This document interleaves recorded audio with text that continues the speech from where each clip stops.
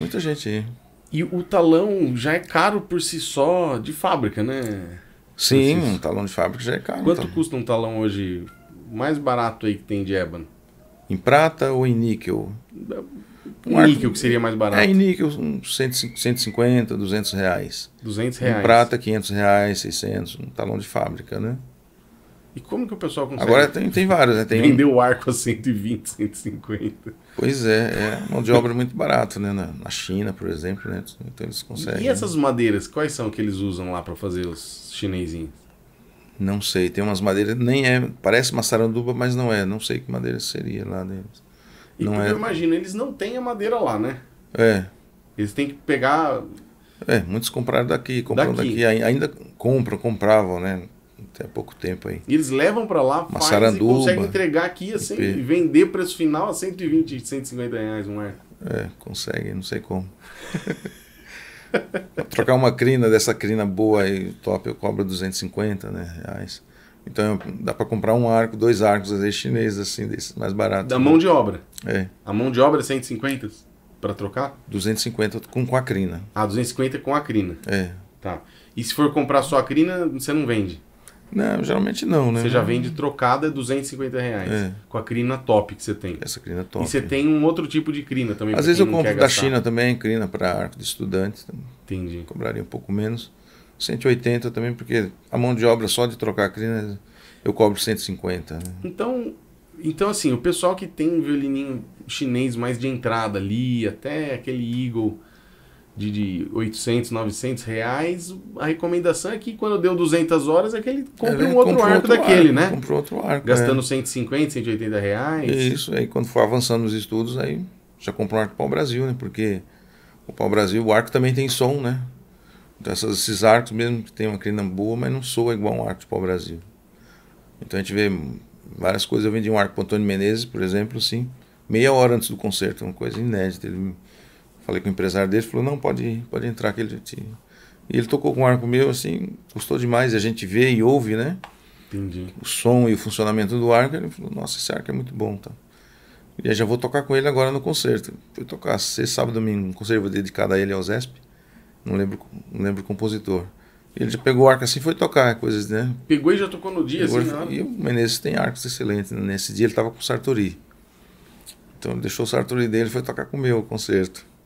É muito legal isso, né? Depois recomendou legal. arcos para alunos dele, né? Que legal. É. E, e ele mora lá, né? Mora na Mora em- Suíça, mora né? na Suíça, em Basel. É, então você também tem arco por lá. Ele já Tem te arco por lá, me indicou, me ligou de lá uma vez. Olha, faz, você tem arco, cópia daquele Turt, né? Eu fiz uma cópia de um Turt que ele, que ele Hum, tinha. Legal, você faz. Então existe isso também, fazer a cópia Fazer do a arco. e cópia, é, aquele estilo de ponta, de curvatura, né? Entendi. É, muda um pouquinho, né? Turt Pecati tem menos curva ali na região da ponta. Ah, Sarturi, Morrizou, esses arcos ele tem mais curva ali na região da ponta. né? Então, ah, entendi. é, tem algumas coisas de Então tem uns detalhezinhos. que curvatura e modelo, né? De pontas assim, né? E então, assim, que nem o violino tem a voluta, né? Que, que o Isso. luthier deixa a marca É, a dele ali. Guarneri, Estrada é diferente, né? E o arco aonde que é? Que pode mudar, que dá uma. Geralmente, é, onde pode se mudar é a ponta. A cabeça do A, a arco. ponta, ponta, você fala é essa A ponta. a isso aqui é ponta. mesmo. Isso aqui é ponteira, isso Não- aqui é ponta, cabeça, né? Não, Não essa parte aqui da ponta. na região da ponta. É a da ponta, vareta. a ponta é isso ponta aqui. mesmo.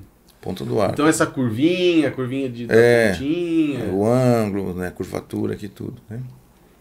E usar a prata e o plástico na ponta aí tem alguma diferença no, no resultado de tocar? É, você tem é que trabalhar. A, a prata é um pouquinho mais pesado, então.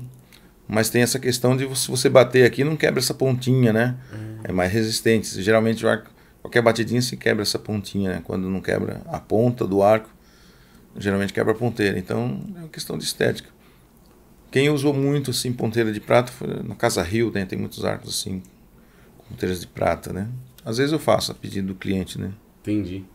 Quando ele vai. Se o cara aperta muito, né? Ele vai esticando e ele pode perder a. e o ideal é que a gente solta o arco, né? É, Sempre. Porque de tocar, soltar. E nunca soltar tudo, né? Tem pessoas que soltam tudo, a crina, né? fica tudo mole, né? Esse aqui nem tá, tá vendo que ela foi, Não tá, é, tá bem. modéstia à parte foi bem inclinado. e- Sim, exatamente. Você vê é. que não tem nenhum fio pendurado aqui, né? Isso, é. Mas você nunca deve Solta, deixar ela assim. fica assim, nunca deve vi. deixar assim.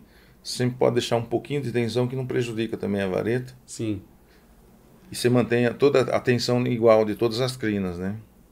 E tem uma coisa que eu já percebi, o Francisco, quando eu fico, por exemplo, aqui, às vezes eu pego para estudar aqui no escritório e eu deixo o ar condicionado Ah. ligado. Ele, ele, Ele seca, seca, e a ele cri- a- estica, o né? ar que estica sozinho. Estica sozinho, não estica? Com ar seco.